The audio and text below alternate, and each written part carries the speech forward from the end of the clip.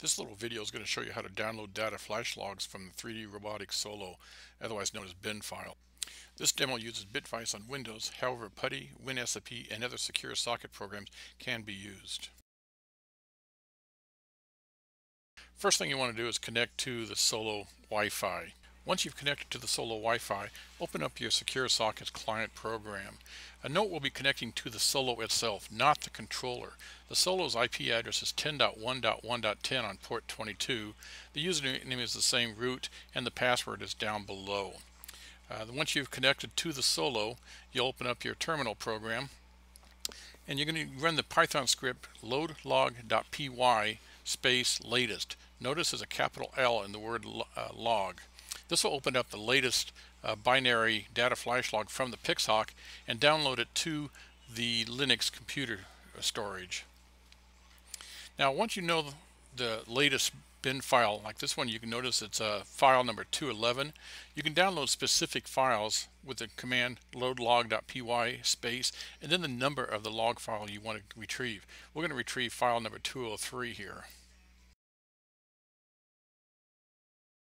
Once a log file is downloaded, you can go and download another file. However, I always have problems after about three to five log files. There's an error, and you need to reboot the controller in Solar and Solo and start all over to get another three or five log files.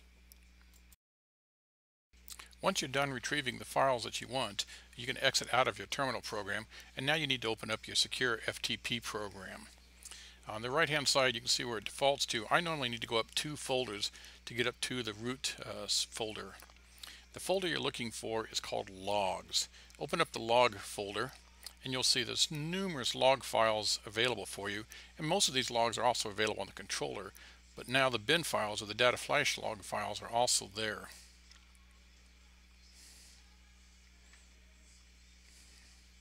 You can see we have the uh, three bin files already downloaded. Uh, 211, we for some reason have 210 but it's empty and we have the 203 file.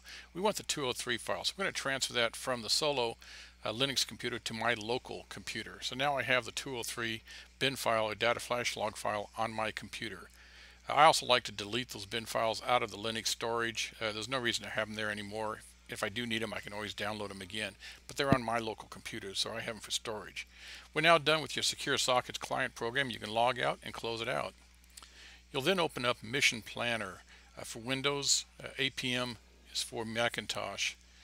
Uh, once you've got Mission Planner open up, you're going to go to the tab there for the data flash logs. And you can review uh, the data flash logs or do an auto analysis we're going to go ahead and open up and go find that 203 data flash logs. Uh, in my case on Windows it went to the logs file into documents and there's my 203 bin file. It'll take a few seconds or a minute depending on the size of your file to open it up.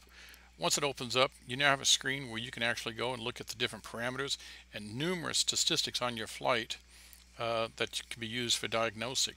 Uh, you also have a couple of automatic diagnostics that you can look at. Here we're looking at some vibrations, I think we're going to go look at the battery uh, condition, battery voltage uh, during my flight here. You also have the option to show the telemetry or the map on a Google map and you can see I was doing a pretty crazy flight on this one. So the data flash logs contain more information than the telemetry logs but they're a little harder to get currently. I use these data flash logs for a few other programs and to do that I need to convert them to log files. Uh, there's a button there called pxv bin to log. Uh, click on that then you can select which bin file you want. It'll save it to a, a, plain text log file which I use for a drone logbook or I can also use it for Dashware. And now we see we have the bin file plus we have the log. So you look at the log with a regular text editor. Now you can see what's in there and this file is easily read by third-party programs. That's about it. Have fun and safe flying.